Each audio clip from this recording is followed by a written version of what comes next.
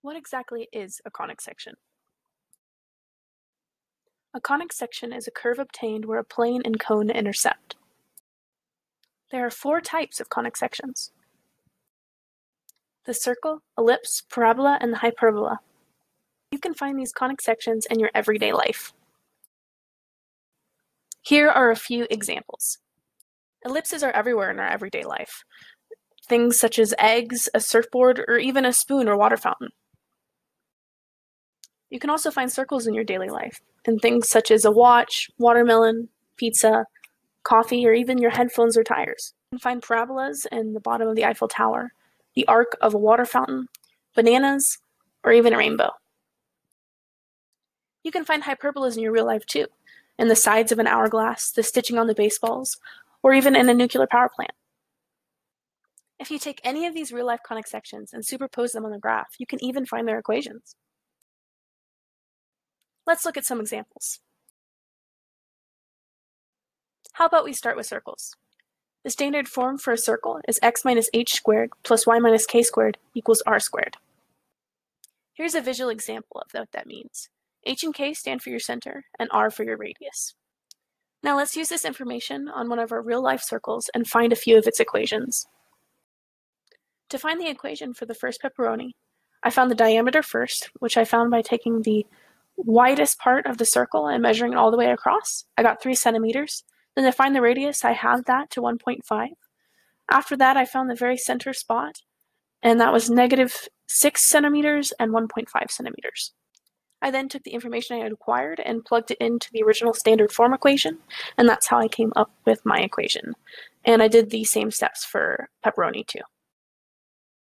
Let's move on to parabolas. Here's the standard form for a vertical parabola x minus h squared equals 4p y minus k. Now let's use this information on a real-life parabola and find its equation. To find my equation for the water fountain, I first found the highest point on my parabola, which is the vertex. I then plugged that information into the standard form equation, and all I was missing was the variable p, so I took a point off the graph and plugged it into the standard form equation so that the only missing variable was p. I then took the value I had found for P and used it to find my focus and directrix, and then plugged the values back into the standard form equation to come up with my final equation. Next, we have ellipses. Here on the slide, I have both the standard form for a horizontal ellipse and a vertical ellipse. Now let's use this information to find the equations of two real-life ellipses. To find my equations for my real-life ellipses, I first measured out to find the center of my ellipse and then I took that information to find my vertices and covertices. I then used that information to find A, B, and C. A being the distance from the center, B being the distance from the covertices, and C the distance from the foci. I then all, used all of this information, plugged it back into standard form, and that's how I came up with my equation for ellipses. Lastly, we have hyperbolas. As usual, I'm going to use this information to find the equations of two real-life hyperbolas. To find the equations for my hyperbolas, I first found the center, then I took the slant asymptotes on either side to help me measure out my box values and my vertices. Once I had that, I used that information to find A, B, and C, A being the distance um, to the A being the distance from the center to the vertices, B the center to the box values and C the distance to the foci.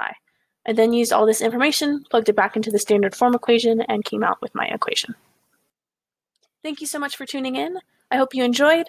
By the way, all these photos in this presentation were taken from Creative Commons with the understanding they will not be used commercially and only for creative or educational purposes.